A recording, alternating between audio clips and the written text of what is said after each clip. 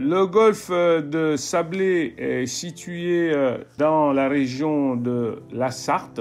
Exactement, la ville de Sablé-Solem est située entre Le Mans et Angers. Et ce golfe-là a été créé euh, par euh, un passionné de golf qui s'appelait Monsieur Raymond Bélanger, joueur, euh, joueur de golf invétéré, en 1992.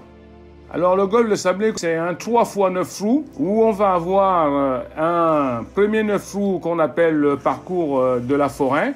Euh, pourquoi on l'appelle le parcours de la forêt? C'est pas parce qu'il est dans une forêt, c'est tout simplement il est longé par la forêt de Pincé, qui est euh, un parcours euh, typique français avec un peu d'eau, beaucoup de bunkers, avec des greens qui sont assez assez larges et euh, on va attaquer ensuite sur le deuxième neuf trous qu'on appelle euh, la rivière, qui est un parcours euh, challenging un peu à l'américaine avec toujours des grands greens et beaucoup de greens, de greens en île, ce qui fait de ce parcours-là l'un des parcours les plus difficiles, mais aussi les plus appréciés des golfeurs.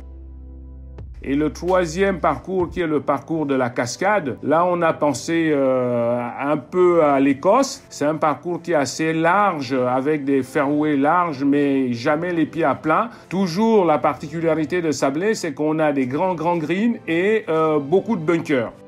Je crois que le promoteur et l'architecte ont voulu faire un golf accessible à tout niveau de golfeur. Et euh, ça nous fait toujours plaisir de recevoir des gens qui ne connaissent pas notre golf et ceux qui ont aussi l'habitude de venir. Je crois que le golf de Sablé en vaut le détour.